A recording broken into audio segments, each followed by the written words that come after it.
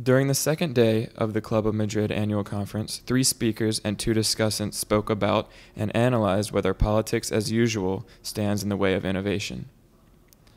Many democracies teeter on the brink of financial ruin because of the indecisiveness of their basic institutions of governance.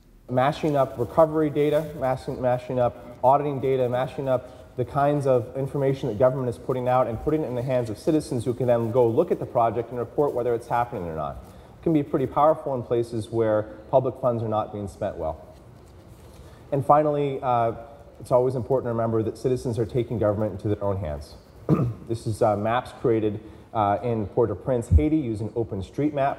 Citizens created these and then put them online, uh, made them downloadable, and then aid workers were able to go take their GPS devices and navigate the streets. Yo creo profundamente que la política tradicional es un freno a la innovación.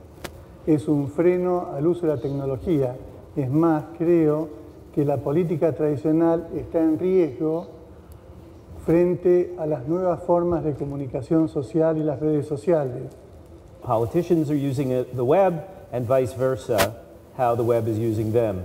Um, I'm going to start, since our topic is uh, politics as usual and how it may stand in the way of innovation, um, I want to start with a video that I think is, uh, will make very clear a particular kind of politics as usual. So it's a question of how uh, each generation is going to be with this new kind of technologies. And number two, number two has to do with till what extent, in the question that you raised, for instance, who is going to be the owner of the data? And are you going to be willing to open that, data or not? And who is going to make the decision? Commercials, going back again. In the fifth power, we decided that there is some rules of engagement. Not to say nasty things that in the network normally you have, etc., etc. So we decided that we can establish some censorship with some articles that are sent to that. But that means that the articles are going to go to a special part in the web. So that if you want to know why that article was censored, you can read the article. Mm -hmm. Which is, you see, it's a two-way thing. Uh, therefore, it's open, no matter what you say, but it's in a different place.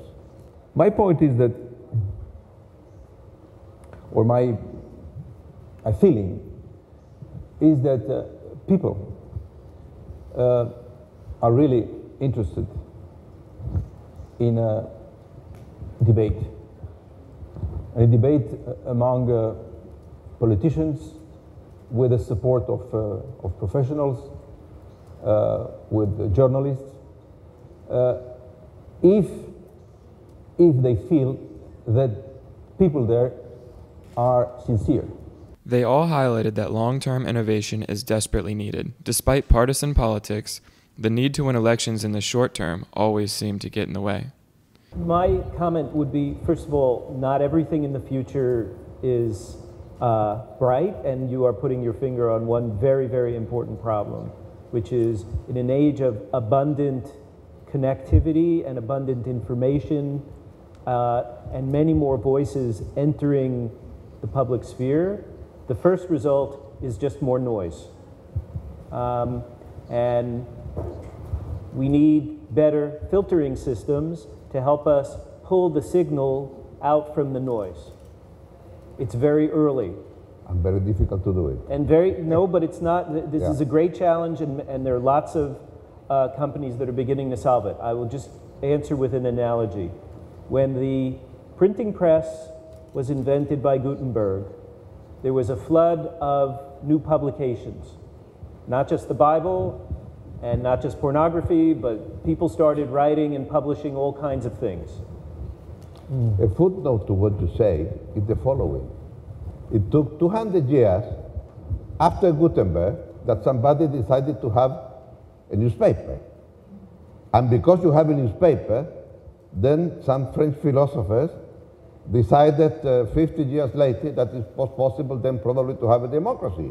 Because if all of us are going to know what's going on in the public sphere, then why only the prince is going to rule the country? What about the rest of us that know what's going on? In other words, are we? How many years since the way that Gutenberg, mm-hmm. the new Gutenberg, which is a social network, what is going to be the end? I think that we are in the middle of the wave, right. but still the wave has not finished. So still we have not discovered the newspaper.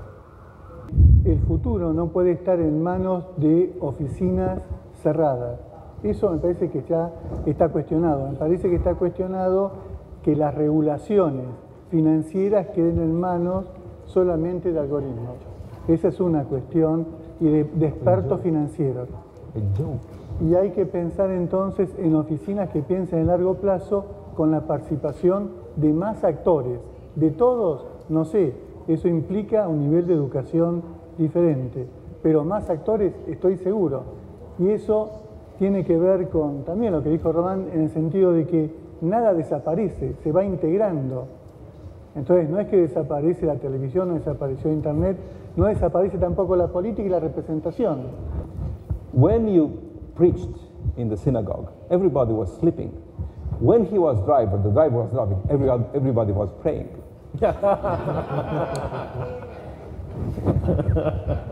Thank you for that.